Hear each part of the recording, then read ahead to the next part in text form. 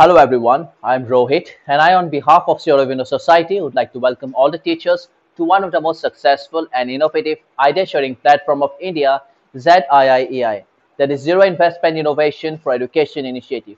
And today the chapter that I'll be covering is known as If I Were an Apple. It's from the NCERT board class 1, chapter 11. Subject is English and the name of the innovation that I'll be using today for covering this lesson is known as warm up. The main innovation and the motivation behind using this idea is to make the students understand the concepts that have been taught in the lesson and create and to create a vital connection with the concepts with the help of physical activity, which in turn will lead to complete understanding of the chapters. The concepts that we'll be discussing about are we'll be learning about preposition, action words, and word formation. The duration for this activity is 10 minutes. We instruct the students in the following manner. We tell them to stand in a circle and we tell the students that do as I do and say as I say. We instruct them that they will have to do whatever we do and they will have to say whatever we say. They will be uh, repeating after us. And we tell them that once we are done with the activity, we all will be discussing on what about the life of an apple.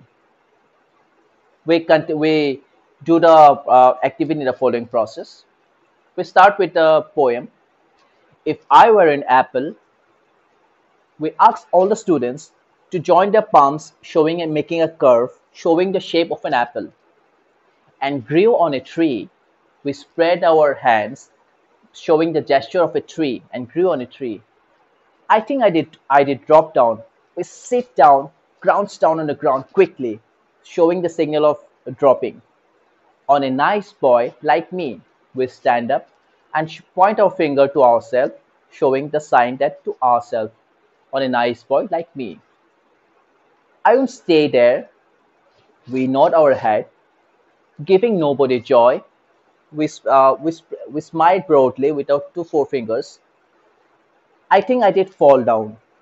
We again crouch back uh, quickly, showing the sign of sitting down, and say, Eat me, my boy. Then we stand up and complete the poem, speaking out loudly the last sentence that Eat me, my boy, showing the sign of eating with our hand. This way, we do the activity, making the students uh, sing uh, rhyme the poem along with us say the lines repeat the lines along with us along with showing gestures with the hands this way they will be able to connect the topic able to connect to the poem in a much more better way and when we start teaching the students in this way we get a lot of benefits um, first of all when the students will be um, repeating after us uh, looking at us and trying to mimic us it will help in developing their critical thinking and decision making skills. They will be patient when they will be waiting for their turn to do the activity. And also, after doing the activity, we again initiate a discussion with the students. We ask them that uh, where does the apples grow? Where does um, mangoes grow? Then again, we can we ask them that can you would you like to say something about what will the life of an apple be like? We take all the responses again we can ask them different questions like what comes before between s and u what comes after u etc along with this we can also give them the idea of prepositions.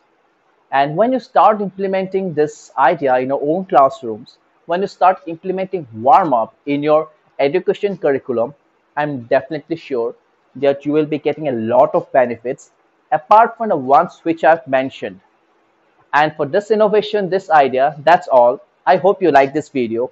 And if you want more of such videos from us, please do like, share and subscribe to our official channel ZIIEI. And also don't forget to download our ZIIEI Innovative Pathshala app from the Google Play Store. That's all for now. Thank you.